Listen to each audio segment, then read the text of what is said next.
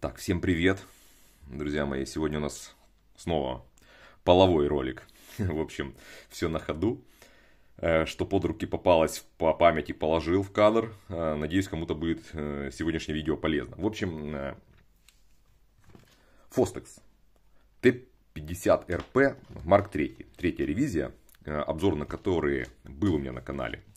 Медь всему голова. Э, это такие планары, которые меня зацепили. Я, как не фанат планарных технологий, все равно приобрел себе данную модель наушников, потому что вот, ну, покорили они. Наконец-то планары, которые ну, они не единственные, как бы, которые понравились. Есть и в э, внутриканалки планарные неплохие. Но опять-таки, в общем, захотелось для определенных сценариев, когда хочется в отрыв пойти и тяжеляк послушать. В общем, как бы принял для себя отличным вариантом вот третью версию от Fostex. Так вот, один из подписчиков, посмотрев тот мой ролик, сказал, блин, ты так заинтриговал, говорит, я тоже купил, заказал тебе, едут, отправь мне во Францию потом, в общем, такая тема. Но он не вник в суть дела и не обратил внимания, что там продавались именно первой ревизии э, наушники. И они пришли такие, понятное дело, они достались очень дешево, очень дешево. И ну, состояние там было тоже такое, повидали они на своем веку. И приведя их в порядок, я сейчас расскажу, как у меня там сложилось с ними, э, какая работа была выполнена. В принципе, может кому-то будет интересно.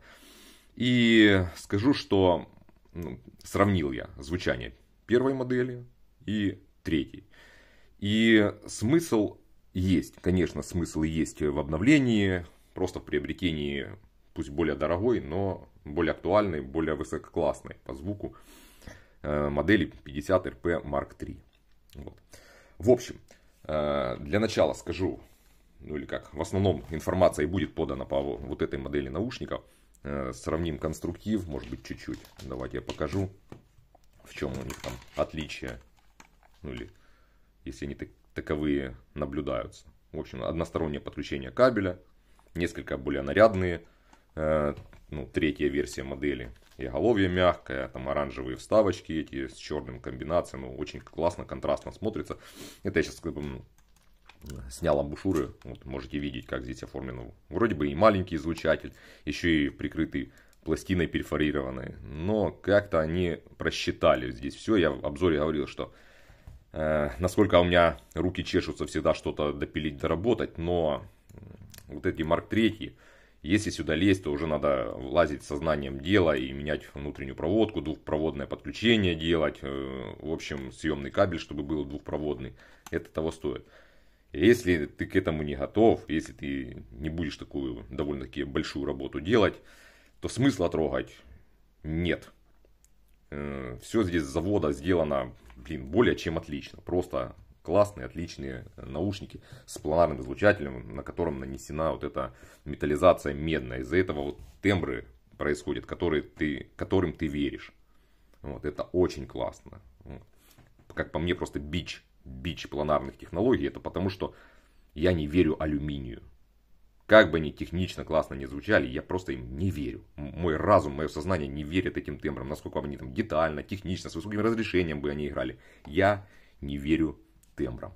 Вот, а вот этим я поверил. Хотя тоже есть свои там огрехи. Темный там звук. Ну, в общем, я в, рассказывал в своем обзоре. Так вот, я сказал, что лучше и не трогать, но все-таки ж зачесалось. Зачесалось, снял амбушюры родные. Кстати, они вот очень неглубокие. Это тоже все правильно рассчитано на заводе. Это все идеально рассчитано. Просто молодцы, класс. Но все равно руки зачесались, конечно, полез я. И вот эти сеточки снял ну, сорвал. Вот здесь была эта сеточка, думаю, еще там микроконтраста добавлю. Но, по-моему, ничего я, кроме сибилянтов, не добавил, мне так кажется. То есть, вот эта пластина, скорее всего, она очень осознанно прикрыта вот этой тряпочкой. Но это надо проверить. Я сейчас поставлю ее назад, приклею. Но мне кажется, что вот высокочастотные звуки, они ну, выходит и, возможно, отражаясь от вот этой пластины, ну, как зеркало, вызывает э, эффект, ну, добавляет эффекта сибелявости. И есть проскакивает. Поэтому я попробую назад это поставить. Ну, а вы можете видеть как раз внутреннее убранство. Здесь вот еще э, стоял вот такой вот поролончик. Как раз, чтобы отражение, видать, гасить. Своего рода такой правильный демпфер. В общем, молодцы, классно они пошли вперед. И Mark 3 считаю, что модель более удачная, чем модель Mark 1. А, первые пришли, кстати, в комплект, с комплектным одним кабелем, не знаю, там должен был быть такой или нет по умолчанию, не знаю, достался только один, очень стыдный провод, прямо позорный кабель трехметровый. Я его срезал, хотел укоротить, просто трехметровый он не нужен. Думаю, сделаю метр двадцать, как обычно. Ну и внутри я обнаружил вот такую вот, ну, буквально волосню. Ну, прикинь, планарный излучатель, который надо бы качнуть и через 3 метра подать все эти токи и импульсы. Вот через вот такой позор оно идет. То есть где там проводники, это попробуй зачистить, лак, плюс там это ткань. Ну, в общем, было принято решение и понимание, что я встрял, надо что-то делать. И сделал я съемный кабель э, на фурнитуре Нотрик. Просто нашел в одном из магазинов. Ну, тоже там, наверное, ссылку оставлю, сейчас посмотрю, если найду, где заказывал. Нормальная, доступная по цене и классная по качеству фурнитура Нотрик. А кабель просто взял э, GCT5 от э, NSHCK. Нормальная медяха. Правда, пожалел, что с ним связался, потому что здесь каждый провод, каждый проводок, он коаксиальной структуры, он лиц. Блин, паять это было такое себе удовольствие. С кислотой, вонище страшное, лак обгорает, кислота испаряется. Это было то еще удовольствие. Вот, ну, в общем, из него я сделал вот такой вот классный кабель, который сюда подошел. Э, ну, стилистически очень классно. По звуку он, ну, такой базовый медный кабель. Не могу сказать, что он прям классный. Вот, есть и получше, конечно, но блин, по малому, по малому бюджету вообще классно так вложился. Единственное, что Нотрик, сейчас где там край этот, э, Нотрик э, довольно-таки большим э, диаметром обладает. Ну как, он небольшим, просто большим, чем здесь требуется по заводу. Пришлось немножко разрезать просто ножом, буквально за 5 минут он сделал, и все здесь прекрасно становится. Ну, в общем, просто офигенно. Теперь по амбушюрам, так как тут были амбушюры уже ушатанные и убиты, когда я их снял, оказалось, что они вот такие вот, они э, без тряпки идут, то есть открытое окно. Вот э, в то, в то время, когда родные на Марк 3 идут вот такие вот защитные тряпочки. Так вот, э, по амбушюрам, где искать Оригу я не, не знал, я заказал на Алиэкспресс, пришли вот такие вот. Они немножко большей глубины, и это уже проблема. Неспроста, неспроста фостексы делают именно вот такой вот прямо плоский блинчик. Все это очень грамотно э, рассчитано. Поэтому э, получилось как, что родная ткань, которая наклеена, она просто наклеена здесь была, ее пришлось срезать, потому что там уже бифидобактерий предыдущего владельца было очень много наслоено. Вот чисто гигиену, чтобы обновить, пришлось ее срезать.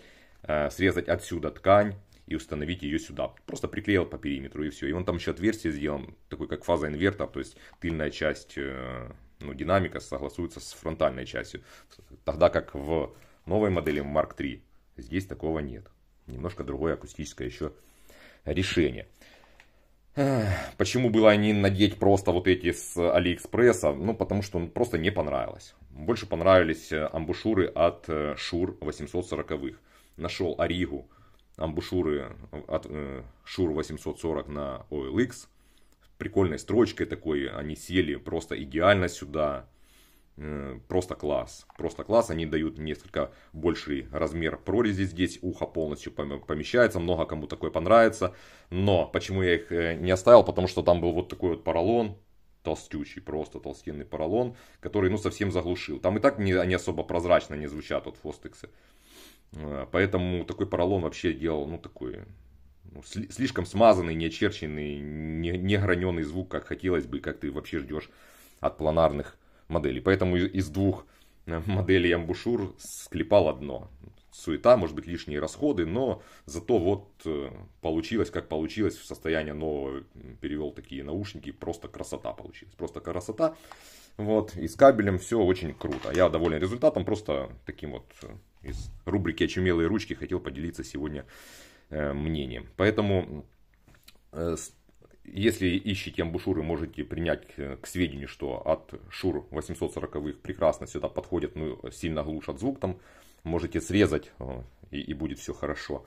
Но все же по звуку МК3 получше, пободрее, вот именно бодрее, очерченнее, плотнее звук, так вот конкретней знаешь, вот, акцентирований. В общем, очень классная пропорция вот, образа, динамики общей.